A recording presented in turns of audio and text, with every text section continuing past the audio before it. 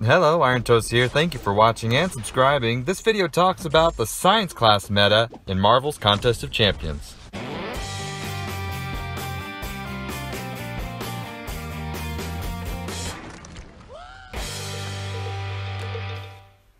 Alright, what do I mean by meta? Well, Marvel Contest of Champions is designed with a wheel of class relationships in place. There are six altogether, and each one has both an advantage and a disadvantage over another.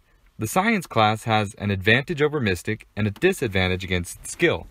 In a very basic sense, the relationship grants about a 35 to 40% attack bonus over mystic and about a 15 to 20% penalty against skill. That's definitely important, but the meta is broader than that. Generally speaking, science class champions are designed to have high base statistics, high health, high attack, high critical rates and damage, things like that. The advantage this gives them over Mystic champions is that they can output a lot of damage quickly, which matches well since they have lower health overall coupled with their common ability to regenerate. Mystics are also power manipulators. If your Science champion can't gain the power they need to reel off specials, that's okay, their base stats should be able to carry them through the fight. Another meta advantage that Science has over Mystic is the fact that Mystics are geared towards nullifying buffs.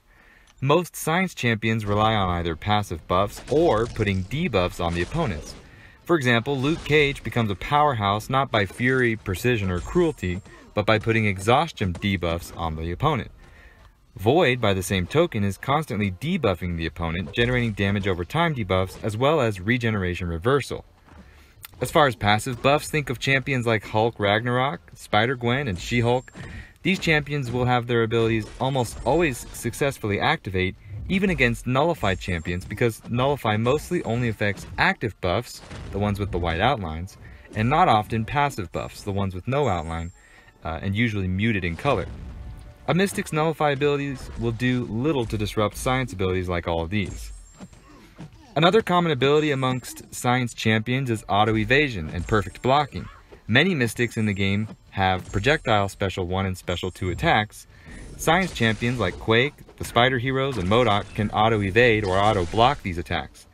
Even if you are talented at evading these on your own with the Dexterity Mastery, these abilities can help every level player prolong a fight and get the win. There are of course meta disadvantages that Science has against skill, but look for that to be covered in a skill explanation video. So, when you're deciding which champions to rank up and how to diversify your roster, keep this in mind.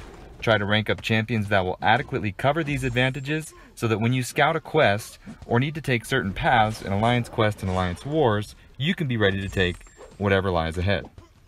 With that, thank you for watching. Do hit the thumbs up button and subscribe if you haven't already. Catch you guys next time. Bye.